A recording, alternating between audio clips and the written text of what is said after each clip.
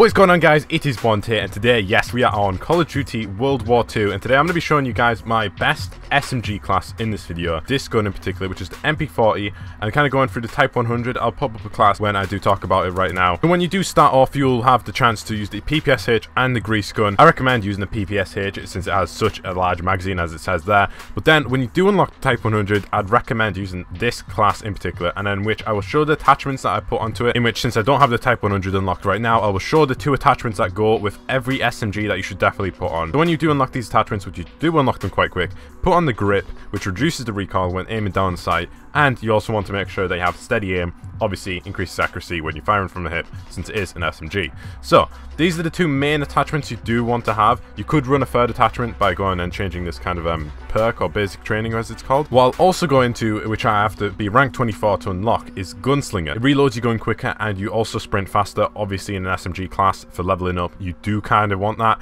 Run about and get kills and gain XP, whether you're playing War, definitely recommended trying to level up War, and actually completing objectives gets you so much XP, but another game modes like Domination are quite known, TDM and Kill Confirm are just as good, but I'd recommend, you know, going to War for any game mode to, for leveling up, definitely. So, main class in particular that I do run is the MP40, which you won't unlock immediately, however, when you do unlock it by prestiging your division, in which I'll show you just in case people don't know um, where and how you can prestige your division, you come to here in the headquarters and you click and you prestige your division. But I'm going to go through a rundown of my MP40 class, which is basically the same. Now, what I'd recommend using is a PPSH. If you do start off and you haven't unlocked MP40, I'd recommend you kind of making this class, but for the PPSH, if you haven't unlocked the MP40. If you do have the MP40, I'd recommend putting these attachments and same secondary and everything the same. So, of course, steady aim attachment, and the grip, obviously both reducing the recoil for hip range and long range, so it's kind of like a mix of both.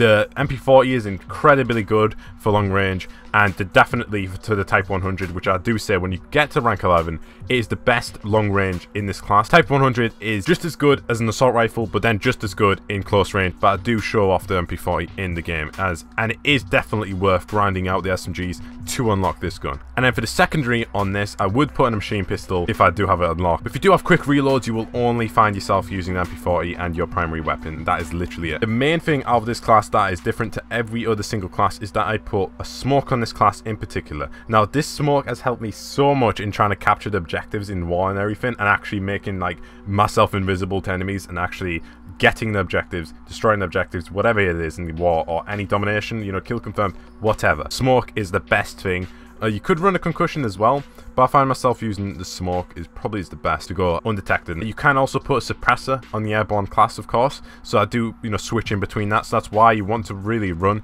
the airborne class. However, I found myself actually using, uh, as you guys can see here, I use my armored class, and I put an SMG class, and I did use the armored class, since if you guys see here, you're immune to shell shock and tactical equipment, so if you do make a class for war, and it's going to be an SMG class, make sure that you kind of run armored. If you aren't going to be using a silent which comes with airborne, of course, you guys can see that, Make sure that you stick on armored, because then obviously you'll be immune to shell shock and tactical equipment, and you won't get killed off the objective, and then you will get kills and gain more XP, of course. So, you can switch in between the division. It depends on totally how you play. If you want a suppressor, or if you want to, you know, not die by a grenade or any tactical equipment, then that is the way to go. You can switch in between. You can make two classes, really, if you want, for two war gamers, but this is, as you can see here, SMG Smoke class, which I have, and I use the Smoke Grenade in particular for this class, and it helps a ton. So this is going to be my kind of like best way to level up class and I've been using this class so much. It's got 239 kills, and I have like 666 kills on the Type 100, as you can see,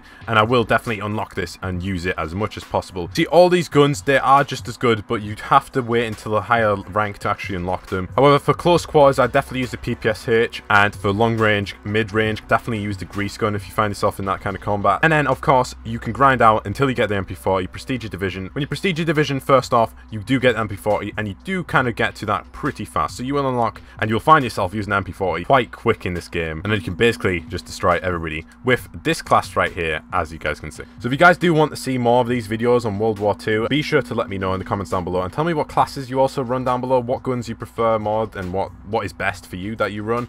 And other than that, make sure you drop a like on the video, it'd be greatly appreciated if you did find this enjoyable or helpful in any way. Subscribe if you want to see more content like this on the channel, and I'll see you guys in the next video. It's been your boy Bond.